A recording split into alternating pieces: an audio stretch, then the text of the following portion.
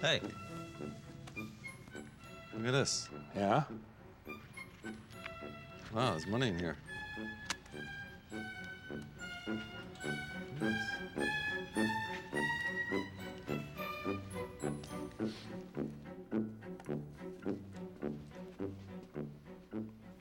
Larry David, Jeff Greene, see Mel. He'll be with you in a second. Have a seat. Hey, you know what? I found this thing in the lobby. Oh, I don't, I don't know what the deal is. uh, actually, this belongs to Dennis. He does the computers in the building. Uh, probably fell out of his chair this morning or something.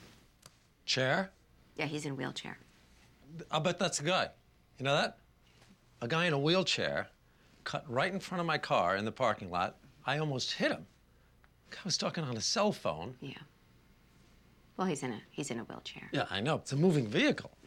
There's got to be some kind of regulations, I would think, even for people in, in electric chairs. He's motoring along. You don't need to be talking on a cell phone. It's dangerous. Mel will be right out. Names for babies? Yes. Is that you? Yes. Actually, my partner and I are adopting a baby. You got yourself a partner. I got a wife. Not exactly a partner, more like a, uh, a rival. You know what I mean? It's, it's, there's a rivalry. I wish I could say this is my partner. So let me ask you: You got any? You got any names picked out? Uh, actually, we do. Is it a, is it a, a boy or what are you it's a boy. It's a boy, uh, and we are adopting him from China. Ah, adopting from China.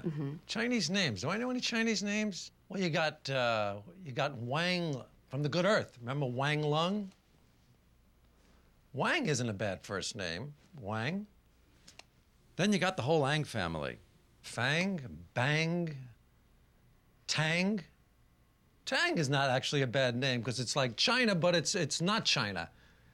It's a juice. Is what it is. Tang. Is that so bad? Naming a kid after a juice? Maybe that's not so bad. But it's but it has Chinese overtones. Tang. But yet there's a Dang. you got a little jolt with it. Mm, yeah. Don't think that would go over too well with the school kids. That's gonna kind of be the least of his problems, now. no? Mel will be right with you. You know what? I'm gonna run to the bathroom.